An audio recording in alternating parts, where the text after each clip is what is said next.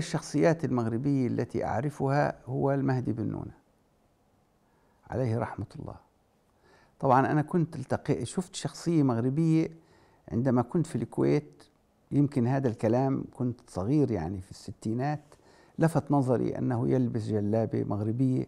طبعا أنا سألت قالوا لي هذا مغربي لأنها كانت قصيرة إلى حد ما. وكان يلبس بلغة من غير من غير تقاشر أو يعني فكان بالنسبة لي منظر ملفت للنظر وظل محفورا في الذاكرة الحقيقة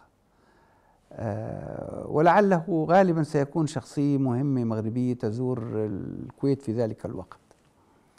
شفته في شارع فهد السالم الشارع الرئيسي في مدينة الكويت لكن أول الشخصيات المغربية التي أعرفها هو المهدي بن نونة. المهدي بن نونة كان يزورنا كان من أصدقاء الوالد الخلص يزورنا في الكويت وكان يتحدث الفلسطينية أحسن مما أنا أتحدثها لأنه هو وعدد من أشقائه ورفاقه وزملائه من التطوانيين كانوا درسوا في جامعة النجاح في مدرسة النجاح وهم صغار. في فلسطين. في فلسطين في مدينة نابلس بتنسيق وبنصيحة من شكيب أرسلان لوالد المهدي بن نونة آه، أو الحركة الوطنية كما يقال الحاج عبد السلام بن نونة. وتوفي الحاج عبد السلام في سن مبكرة يعني يعني لم يمهله القدر كثيرا.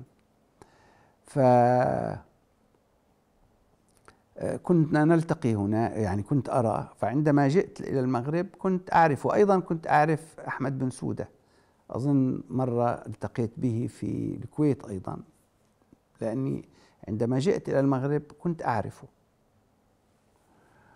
إحنا جئنا في المغرب في 90 نعم نعم مستشار هو وقتها هو كمان في قضية مهمة أنه قبلها كان سفير المغرب في لبنان.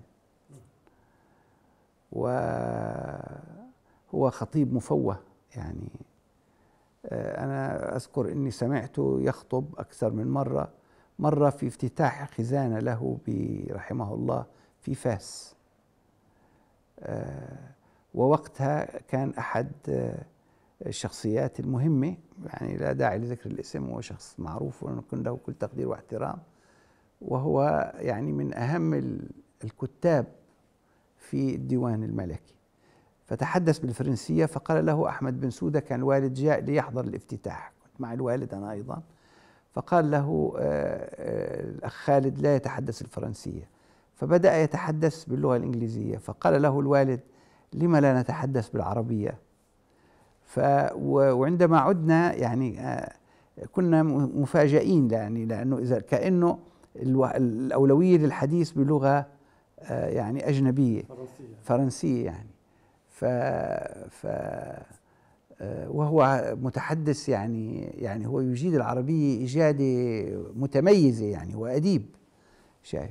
أذكر هذه الحادثة جيدا و واستمتعت كما أستمتع دائما بحديث العم أحمد بن سودة اللي تربطني معه أيضا آه، ذكريات. لكن وهناك قصة نستطيع أن نتحدث بها عن سي أحمد بن نونة العم أحمد بن نونة اللي كنا نزوره كثيرا هنا في منزله في الربا في السويس رحمه السويسي رحمه الله. لكن لابد أيضا من الحديث عن سي المهدي بن نونة المهدي بن نونة آه، هو يعني الصديق الشقيق للوالد. والحقيقة علاقة الوالد بالمهدي بن نونة أصبحت هي علاقة بين العائلتين عائلة الحسن الحيفاوية من حيفا وعائلة آه، المهدي بن نونة أو عائلة بن نونة عموما. رحم الله سي أبو بكر بن نونة حضرنا جنازته قبل يومين. رحمه الله وتغمده هو وإخوته جميعا بواسع رحمته. فالعلاقة تربطنا بهم بالأبناء جميعا بأبناء المهدي بأولاد أخوته ونعتبرهم عائلتنا وهم يعتبرون نفس الشيء يعني. آه، وأنا أسأل الله أن يكون هناك من المناسبات ما يعمق أكثر وأكثر هذه العلاقة ويديمها إلى الأجيال يعني اللاحقة.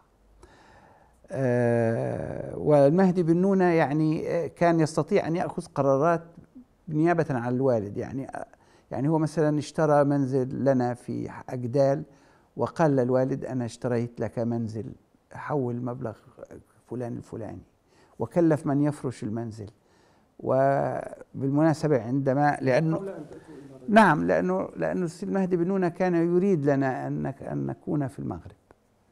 وعندما حصل ما حصل في الكويت وأنا كنت وقتها في الخارج الكويت وجئنا إلى إلى آه، المغرب وجدنا هذا البيت الذي آه، نصح الوالد سي المهدي بن الوالد بشرائه. والوالد طبعا امتثل لنصيحة ونصحه الأخوي المحب يعني. وهذا الحقيقة يسهل علينا أمور كثيرة لأن العائلة كلها إحنا كنا أربع عائلات جلسنا في شقة واحدة الحقيقة لأنه هو كان شقة نعم ماشي يعني. آه ف اشترى أيضا هذا البيت يعني؟ لا لا هذا هذا البيت كلا هذا إحنا عندما جئنا عمي عمي مسعود اطال الله في عمره آه، هو اللي هو اللي يعني آه، نصح بشرائه وإحنا اشتريناه من آه، سي عبد الله العروي الله يطيل في عمره ويعطيه الصحة. ولم يسكن بيته هذا لأنه وجد أنه لا داعي للانتقال من حيث يكون إلى هنا بالسويسي لأنه أولاده أصبحوا في الجامعة فوجد أنه لا داعي للانتقال. نعم آه بالنسبة لابن سودة أظن في كمان حادثة يعني هو علاقته في الوالد قوية آه هو رجل مشاعره يؤمن بالبعد العربي بشكل خاص في للمغرب يؤمن بدور المغرب. المحوري عربيا بشكل أساسي وأيضا إفريقيا وإسلاميا. إيمانه كبير كما هو شأن كثير من الأعلام المغاربة. آه، وأذكر أنه آه، آه، كان في زيارة للوالد فخبرني الوالد لاحقا أنه هنأه بأنه أنا عينت يعني مدرس مساعد هذا الكلام كان عام 91 في كلية الحقوق بمراكش وقال له أنا أهنئك لأنه ابنك استطاع أنه يصفر بهذا التعيين. آه، قال لي أنا خبرني المهدي بن نونة لأنه ابنه للمهدي بن نونة الدكتور أمين أيضا هو أستاذ في الجامعة. وهو آه، بس في كلية العلوم. هو وقتها أخبرني أنه هناك مناصب منصب شاغل يريدون أستاذ للعلوم السياسية. لأنه المغرب في كليات الحقوق لم تكن تعرف التخصص في العلوم السياسية. قانون عام. تخصص العلوم السياسية غير قائم. قال له هذا صحيح لكن بعد أن تم الوالد لسيد بن سعود هذا صحيح لكن بعد أن تم التعيين بشهور أخبروا زملائه أنه السيد العميد يريد أن يعين شخص آخر وأنه يقول أنه هذا له خلفيات إرهابية نحن لا نريد مثل هذه الأمور في كليتنا. وأيضا هذا مهندس وليس ما الذي جعله يقول خلفية إرهابية؟ يمكن لأنه لأنه أنا جنس يعني تقدمت كمغربي لكن هو واضح من اللهجة أنه هذه لهجة آه، فلسطينية. فيعني وهو ألقى حكما هكذا يعني جزافي آه، آه، ليحقق المراد يعني. ف وقال إنه مهندس وأنا فعلا مهندس وعملت مهندس عشر سنوات. لكن أنا أيضا آه، حصلت على معادلة الإجازة من من الجامعة وحصلت على آه، دبلوم آه، في الحكم المحلي من كلية الاقتصاد والعلوم السياسية في القاهرة وعلى ماجستير العلوم السياسية من الجامعة الأمريكية في القاهرة. وهذه كلها أمور معادلة ومعترف بها. وتعتبر كانت دكتوراه سلك الثالث في في المغرب يعني دون دكتوراه دولة. حتى أتذكر عندما تقدمت للتسجيل في الدكتوراه هنا الدكتور محمد بناني أطال الله في عمره رجل رجل كريم من كرام الناس آه، عندما قام بعملية المعادلة وكذا قال لي أنت يعني مستواك فوق الماجستير ودون دكتوراه دولة. فيعني أنت من ناحية التأهيل أكثر من مؤهل إلى أنك أنت تمضي وتسجل في الدكتوراه. فالمهم هذا كان الجواب. لا أختصر عليك الكلام. آه قال لي سألني سي أحمد بالهاتف. أنا كنت وقتها في وجدة نبحث عن أرض فلاحية لنعمل بالزراعة. هذه كانت رغبة الوالد. ف فهم من الأمر كلمني بعدها قال لي يا سعيد يقولون إنهم لا حاجة لتخصصك. آه، لماذا لا تعمل؟ لا تدرس في المدرسة المحمدية كمهندس. قلت له عمي أحمد أنا أولا لا أريد أن أحرجك. أنا يعني غير معني بإني أنا أدرس الهندسة لا في المغرب ولا في خارج المغرب. أنا ما أعرف أنه المحضر الخاص بلقائي يعني عندما تقدمت اللجنة التي نظرت في طلبي للتدريس كان محضر إيجابي وقالوا أنهم بحاجة إلى هذا التخصص واعتبروا إنه أنا يعني ممكن أشكل إضافة وبالتالي التعيين يعني هم أجازوا التعيين وزكوه. إذا كان هذا صحيح فمعناها إنه اللي حصل شيء يعني غير عادل. أما إذا كان خاطئ ما أنا بلغني فأرجو أنا يعني أن أرفع عنك الحرج. يعني ما تضع نفسك في موقف حرج من أجلي. قال لي طيب. بعدها بثلث ساعة اتصل فيه. يبدو أنه كان في محادثات مع عميد الكلية مع رئيس الجامعة مع آه، الوزير مع كاتب العام. قال لي اذهب إلى الكاتب العام بعد غد وخذ وخذ التقرير. وخذ قرار التعيين إعادة التعيين في ما في كمدرس كما كنت بس لا تحدث بهذا أحد. والحقيقة أنا خلال عشرين سنة لم أكن أتحدث بهذا. والعميد عميد كلية الحقوق في مراكش يعني كيف كان رد فعله؟ ماذا تنتظر يعني؟ هو قال لي خذ قرار التعيين واذهب. يعني طبعا أنا أقول هذا لأنه لأنه مثل هذه الإجراءات يمكن الآن غير ممكن أن تحصل. يعني ممكن يحصل إلغاء التعيين بس إعادة التعيين بهذا الشكل ما ممكن كان الآن الآن يصعب أن تحدث كما حدثت سابقا يعني. آه، ممكن تحدث إذا تم تعنيف لشخص لأنه أخذ قرار آه، غير صائب. فهذا التعنيف يجعله أنه هو يقبل مثلا التعيين. ممكن تحصل ضمن هذا الإطار.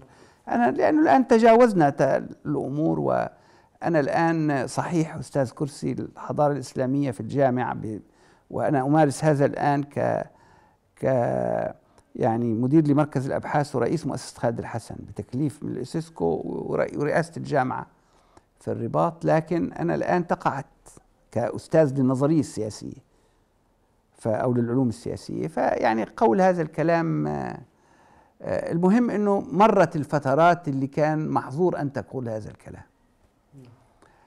آه هذا عن سي أحمد. طبعا أما العلاقة مع سي الشرقاوي الحقيقة العلاقة مع العم الشرقاوي امتد به العمر وامتد بنا العمر معه. يعني نحن آه كنا حضرنا يعني وداعه إلى دار البقاء قبل أسابيع لا لا تتجاوز الشهور يعني يمكن شهرين. هو الحقيقة رجل نبيل مفعم بالوفاء وبالرجولة. اعتزازه بالمغرب وبالملكية. كبير حكيم آه، عنده رؤية استراتيجية ونظر واسع. وأنا أول مرة التقيت به الحقيقة عام 86 أنا التقيت به وسي أبو بكر القادري والأستاذ محمد بن بشير الحسني الله يطول في عمره وأشخاص آخرين آه، من قادة حزب الاستقلال ونقابيه. هذا كله التقيتهم في عام 86 هل أول زيارة دعيت فيها إلى المغرب؟ آه، جئت جئت لي آه، أحاضر حول أمور تتصل بالعمل النقابي أنا والأستاذ جمال البنا الذي أسس الاتحاد. الدولي للعمل في العالم الإسلامي. وقتها كان صادف أنه الوالد في المغرب. فهاتفني الوالد وقال آه، لي تعال إلى آه، الرباط. كنت أنا في في الدار البيضاء. لا أدري كيف جئت يعني آه، لأنه لم يكن هواتف آه، محمولة ولا لوكيشن ولا كذا. لعلهم أرسلوا شخص يعني ليقلني من الدار البيضاء إلى هناك. وهناك حضرت غداء الوالد وكان سي محمد الشرقاوي وكان رجل من كبارات رجال المغرب. للأسف لم أحظى بلقائه كثيرا. ولا وهذا تقصير مني الحقيقة. كان يجب أن أنتهز فرصة التعارف عليه. لكن أنا غادرت المغرب بعدها. كان زيارة خاطفة اللي هو المهدي بن عبود. والحقيقة آه، يعني أخذت وأنا أستمع إلى تحليلات وطلب منه العم الشرقاوي أن أتحدث في أمور. فذهلت من من سعة يعني من العمق الحديث. وأنت تجد صعوبة في أن تتبع حبل الأفكار معه. ورجل دمث ورجل كبير في داخله وفي نفسه. آه، بعد وفاة الوالد آه، استمرت علاقتي بالعم الشرقاوي بشكل أقوى بكثير. وكنت ألجأ إليه في كثير من الأمور.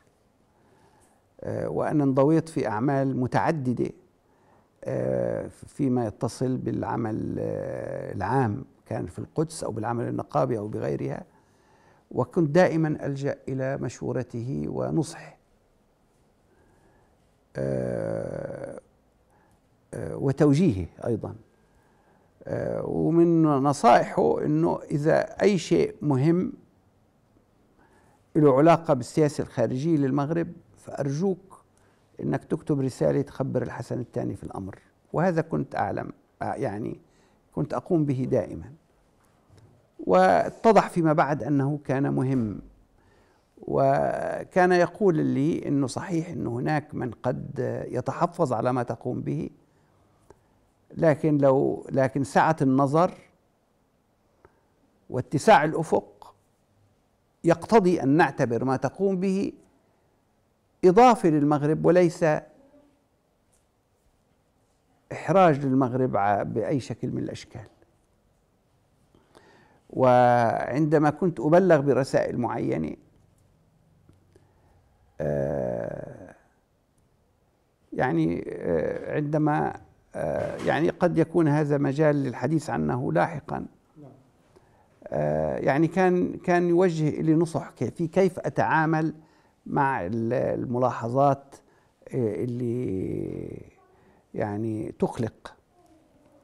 آه، وكنا دائما نلتقي في ديوانه العامر في بيته هنا في السويسي أو في آه، قصر للمليكة في الصخيرات في الصيف كان في دائما يكون في لقاء أيام السبت. آه، كان يدعو له معارفه وأصدقائه.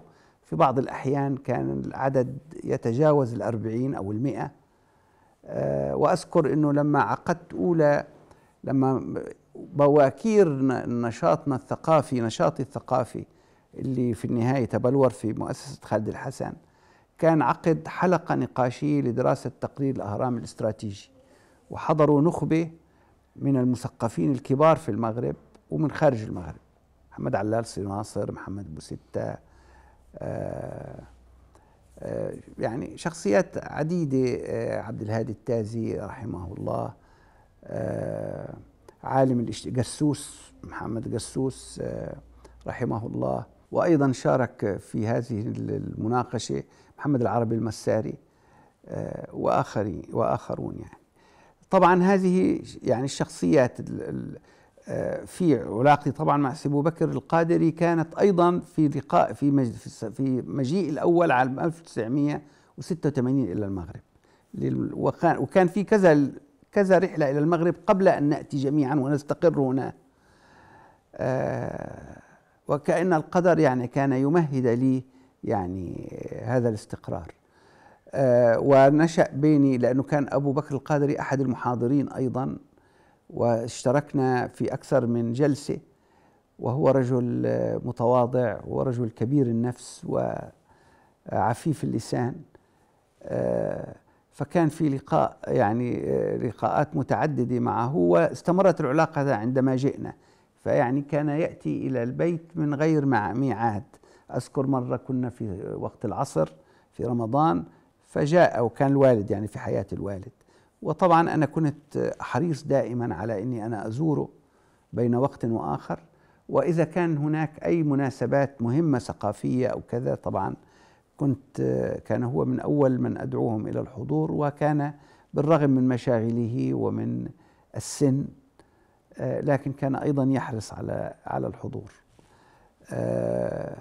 وأذكر أنه مرة كان كان مستاء جدا من نتائج إحدى الانتخابات.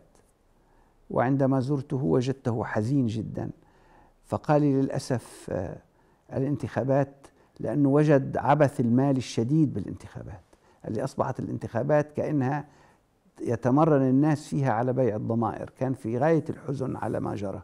وأيضا آه، كان معتز بنفسه كثيرا واعتزازه بالقصر العلوي بعلاقته الخاصة معه. لكن أيضا كان يرى أن آه، عليه دائما أن ينظر إلى نفسه بشكل آه، كأنه رجل وطني. قضيته الأساسية هي الفكر والكتاب. ولا ينظر إلى هذه الرسالة من خلال أنها مدخل إلى حظوة أو شيء من هذا القبيل.